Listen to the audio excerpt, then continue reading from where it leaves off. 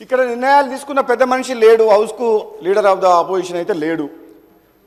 ముఖ్యమంత్రిగా నిర్ణయాలు తీసుకొని ఒక ఇంపార్టెంట్ సబ్జెక్ట్ మీద చర్యలు చర్చ నడిచినప్పుడు కనీసం లీడర్ ఆఫ్ ద ఆపోజిషన్ హౌస్లో ఉంటే ఆయన తీసుకున్న నిర్ణయం వల్ల జరిగిన నిర్వాహకం ఏ విధంగా జరిగింది ప్రజలకు వినియోగదారులకు విద్యుత్ సంస్థలకు ఏ విధంగా నష్టం జరిగింది ఈ నష్టాల ఊబిలోకి ఎందుకు నెట్టబయటపడ్డాయి పడ్డాయి ఈ విద్యుత్ సంస్థలు అనే విషయము మేము కొంచెం చెప్పుకునే అవకాశం ఆయన వినే అవకాశం ఉండేది అధ్యక్ష.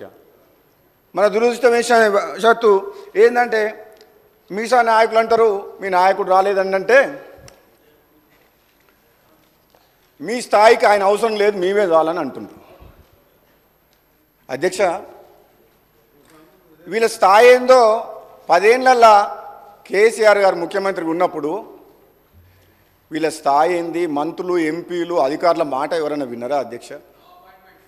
నో అపాయింట్మెంట్ ఒంటెద్దు పోకడా నిజం ఉన్నది ఉన్నట్టు అట్లా కాదు ఇట్లా అని చెప్పే అవకాశం వీళ్ళకి ఎవరికైనా ఇచ్చిండా అధ్యక్ష ఆయన?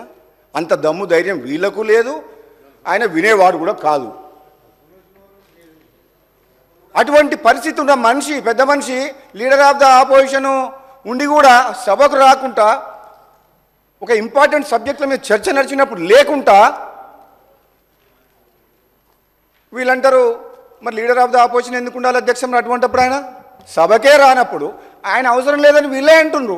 మరి మీరే మీ లోపల ఎవరో ఒకరు సభల లీడర్గా మీరు సీఏ ఎల్ఓపి కాండి ఆయన అవసరం లేనప్పుడు మరి ఇక సభకే వద్దనుకున్నప్పుడు ఆ పొజిషన్లో ఆయన అవసరం ఏముంది?